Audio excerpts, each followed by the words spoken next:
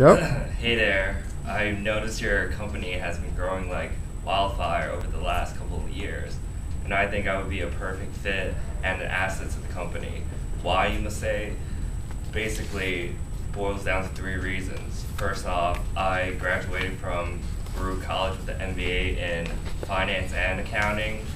I've second, I have my CPA and my CFA certifications.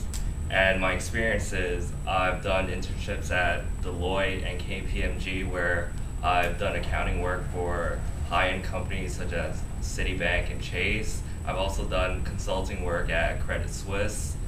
And I just thank you for your time and I would just like your contact information so we could talk about this in a further In the future. future fashion.